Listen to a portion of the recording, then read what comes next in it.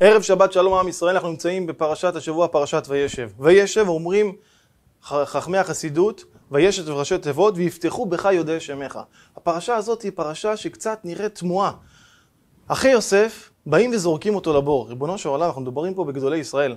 האם היינו מאמינים היום שניקח לדוגמה את הבבא סאלי, מרן הרב עובדיה, וכל גדולי ישראל שאנחנו מדמיינים אותם שהם הגדולים שלנו בדורות האחרונים, ונצייר שהם לקחו את אח שלהם וזרקו אותו לבור. האם זה נתפס בשכל שלנו? זה נראה מעשה, לא יודע, שמתאים בר מינן לאנשים אה, לא דרך התורה והמצוות, ולהפך.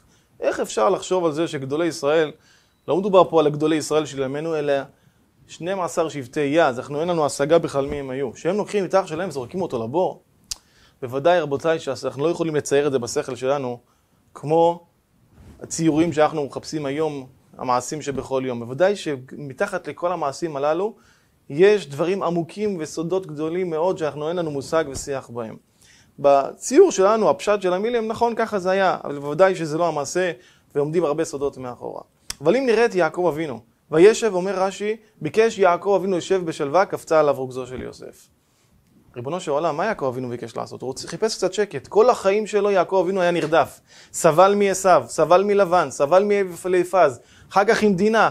כמה בלגן, כמה צרות הוא עבר. מה הוא ביקש לעשות? קצת לשבת ולעסוק בתורה? לא דיין לצדיקים שרוצים, ש, שמתוקן להם חלקם לעולם הבא, גם בעולם הזה יהיה להם שקט. ריבונו שלם, מה הוא רוצה? הוא רוצה לשבת ולעסוק בתורה, מה הוא רוצה? אלא הקדוש ברוך הוא יודע שהצדיקים לא מסתפקים בחלק שלהם לעולם הבא. במשנה אומרת, כל ישראל יש להם חלק לעולם הבא. חלק יש לכל אחד מעם ישראל. אבל יש אחד שיש לו יחידת דיור, יש אחד שיש לו דירת שני חדרים, אחד שלושה חדרים, אחד פנטהאוז, אחד וילה, אחד אחוזה, וכן על זה הדרך. חלק יש לכולם, איזה גודל? לא כתוב. הגמרא מספרת על רבי אליעזר בן, רבי בן דורדיה. כל המעשה שידוע, שמה שהוא הלך היה רשע גדול. בסופו של דבר הוא חזר בתשובה ויצא בת קול משמיים ואמרה, אשריך רבי אליעזר בן דורדיה שאתה מזומן ומחיימן לחיי העולם הבא. בחר רבי ואמר, יש קונה עולמו בשעה אחת. ריבונו של עולם, מה רבי בכה? היה פה בן אדם רשע מרושע. שעשה את כל העבירות שבעולם. בסוף הוא עשה תשובה, והוא זכה שיצא בת קול שהוא צדיק. רבי בוכה.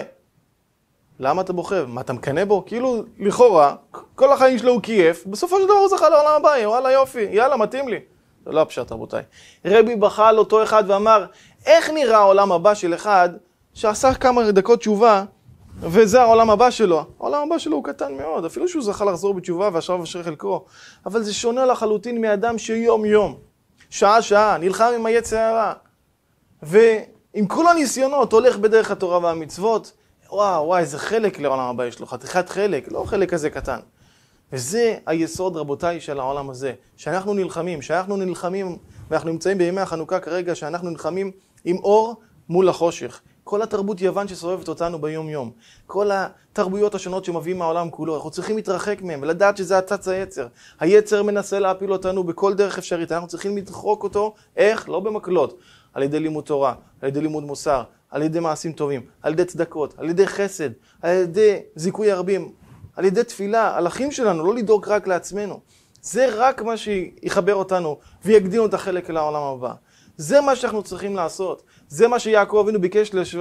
יעקב לשבת בשלווה, קפצה עליו רגוצו של יוסף, אמר, לא דיין לצדיקים. יעקב אבינו לא הספיק לו החלק, הוא צריך, חביבי, חתיכת חלק בעולם הבא, וכל ייסורים בעולם הזה, או-הו, כמה אדם מרוויח בעולם הבא. זה היסוד, רבותיי.